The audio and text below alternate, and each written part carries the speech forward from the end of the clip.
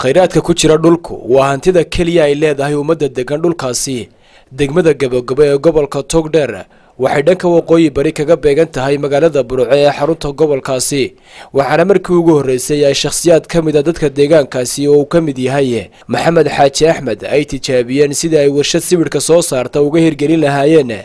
Taasi oo sida uu noo sheegay mudane maxamed xaaji axmed ay darseen islamarkaasina ay hubiyeen sibidhka ku jira goobtaasi tifiga eryal waxa uu gaadhay degmada gebagabo waxaana la hadlay qaar ka mid a bulshada degan deegaankaasi kuwaasi oo sharaxay muhiimadda ay u leedahay haddiiba deegaankooda laga hirgeliyo warshad sibidhka soo saarta.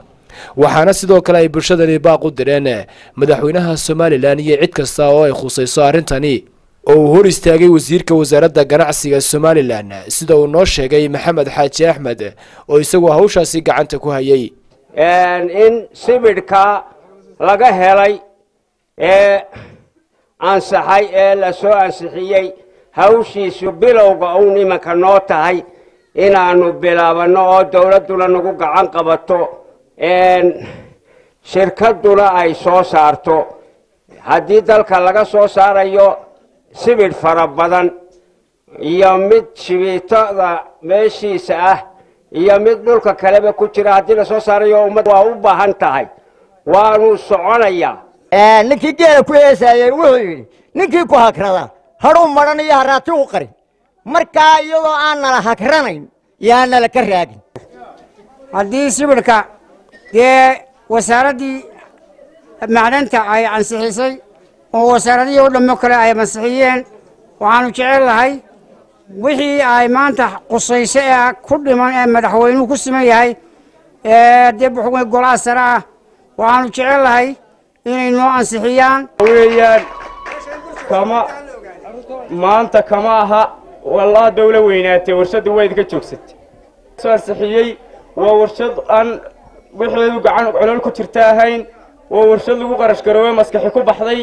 Waxa weeyaan dee waa in wixii cunaqabateyn iyo calaqaad ku soo jeedinaya mase heedhe madax iskaga duubaya waa ma ogoli ma yeelayno mana yeelayno waa warshad wanaagsan.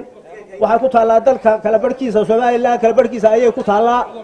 Waxa weeye bari iyo galbeed waxay kala barhka ayay ku dhowdahay. Intaasoo dhalinyaro halkaa soo joogtaa shaqay ka helaysaa islaamaha ka helaya ciyaalkaa ka helaya. Waxaanu u baahannahay in wax naloo qabto. Ugu horrayn in wax naloo qabto baanu u baahannahay warshadda sibidhka waxaanu nahay maanta haddaanu nahay degmada reer gebagebe way waayeelkeedii dhallinyaradeedii odayaasheedii haweenkeedii.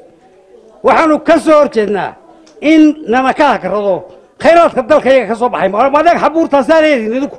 Ee aanu leenahay ee ku dhalanay. Ee mari jirnay weligii ee aanu annagu calaxaba u garayna saakiisa qaadnay. Haddii shiina noo soo saarayo o aanu warshad ka helayno o aanu odaygan la soo baxayo iyo odayaal kaloo somalilan dalkana waxbay u tahay annagana waxbay noo tahay. Nacfiga u horeeyana wuxuu u soo baxayaa degmada.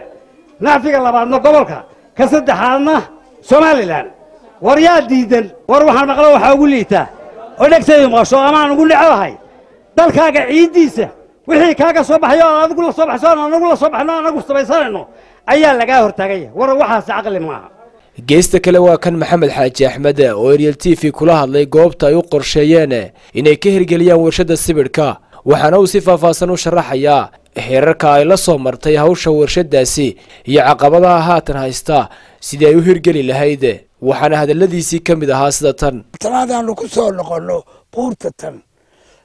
Maraaxil badan ayaanu ka soo marray buurtan markii ugu horreysay guurtida magaalada degan sanad horteed ayaan markii indhaindhayntii ugu horreysay aanu marray waxaanu weydiisanay codsi aanu leenahay ma ku saxsanaa sibil ma ka saxminaa magaaladan aad degantihiin waxayna yidhaahdeen haa markii intaasi noo dhacday waxaanu u noqonnay inaanu wasaaraddii macdanta iyo tamarta ku noqonno oo aanu u sheegno inaanu makiinadihiina iibkoodii gallay annaguna aanu tegayno jayne oo aanu soo saxeexaynayno dhiilka warshadda quruxdeedu waxay tahay. Dad training badan uma qabaan farsamada samaynta sibidhka carqalado badan ayaa kaga dhacday. Waxaanu isla ogolaanay annaga iyo shirkadda dibadda nala shaqaynaysaa inay noo tababaraan shaqaalaha.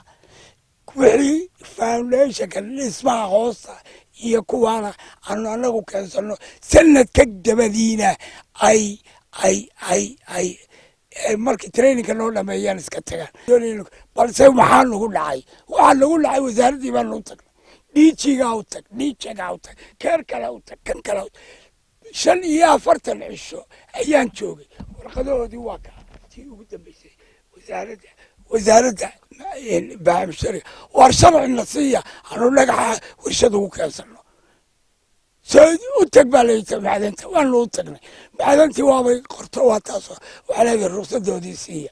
Waana waana samaysa. Warshadda waxaa intaa u dheer dabadu diri mayno dabadu ma wadno waddanka gudihiisa ayaa lagu dhisaya.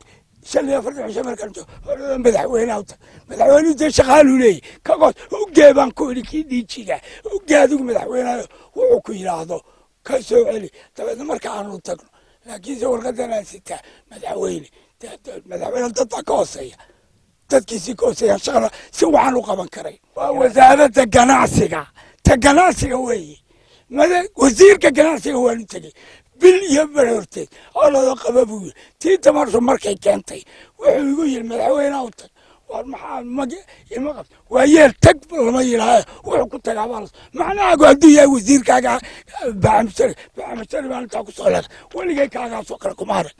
Ninkaasoo kale weligay intaan baaxamshari joogay kuma arag. Waxaan ku ka fiirsada ganacsiga dalkana dhiiriya horaha u dhaqaaqo. Taasoo loo baahan yahay in looga faa'iideeyo mujtamaceena ku dhaqan somalilan. Maxamed mataan gabalaax maxamed mooto ariel t v. Degmada gebagaba ee gobolka togdheer